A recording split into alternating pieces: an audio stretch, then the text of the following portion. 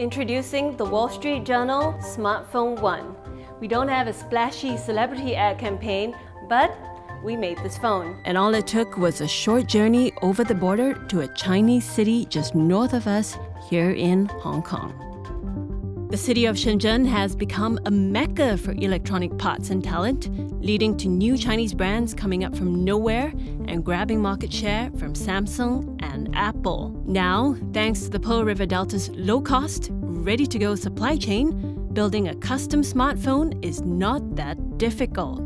That's exactly how we made the WSJ1, which is only $70. It runs Android, has a touchscreen display, front and back camera, fingerprint reader, and it even takes two SIM cards and an SD card. There are thousands of factories in China's Pearl River Delta region that build products that companies can rebrand as their own. The most important ideas uh, coming out of Shenzhen is the technology is commodity. Building a mobile phone is a street affair. It's not a high-tech research. The company should think about what they want to do with a mobile phone, rather than whether or not they can build a mobile phone.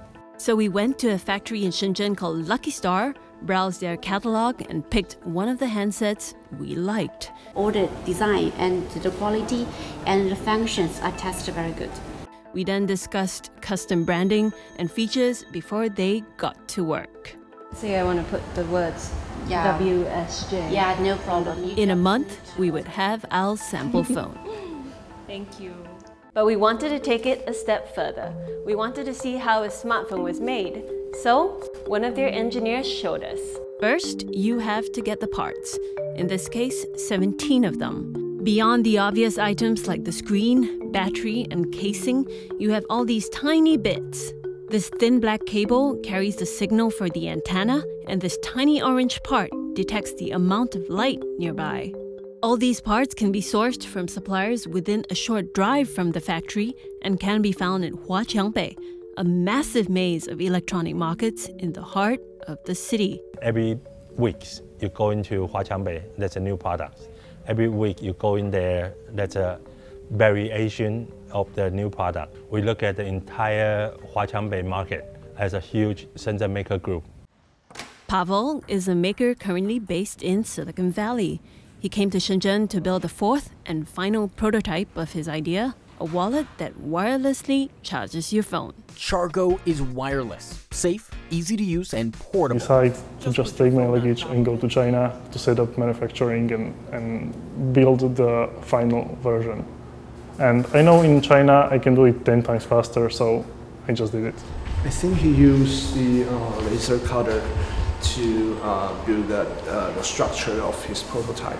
He built his wallet here with the help of X Factory, one of the city's many accelerators that lure makers from all around the world. Everyone comes here looking to make the next big thing. This entire region has become a hotbed for talent, attracting people from all around China to be part of this smartphone boom. Here in the city of Guangzhou, just two hours away from Shenzhen, students are learning how to take apart smartphones and put them back together again.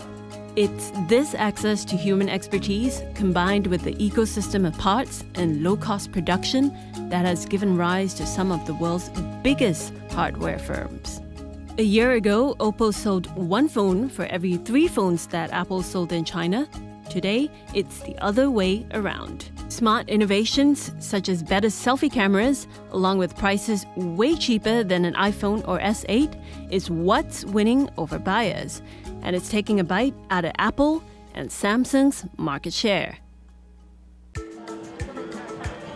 To survive, factories like Lucky Star have started taking smaller orders and have become one stop shops for anyone that wants to build consumer devices. Its clients include the local Chinese government and ViewSonic, a Californian hardware firm for whom they make projectors for. The process of building a phone at Lucky Star would usually happen on a production line like this. A row of workers are each responsible for one part of the manufacturing process. They start by gluing the screen together, and then slowly the guts of the phone are assembled. The main board goes into the case, then some parts are soldered, others connected with a gentle touch. After about eight minutes, you are left with a fully functioning phone. So here you are with the almost completed smartphone. And the finishing touch, a dual SIM card, an innovation from Shenzhen. And now turning it on, a completed mobile phone. The Wall Street Journal smartphone, anybody?